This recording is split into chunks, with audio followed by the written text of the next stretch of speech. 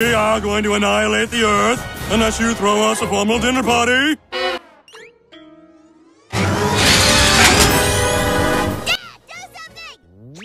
Would you guys settle for a rubber chicken from my clown suit? No! Prepare to be destroyed!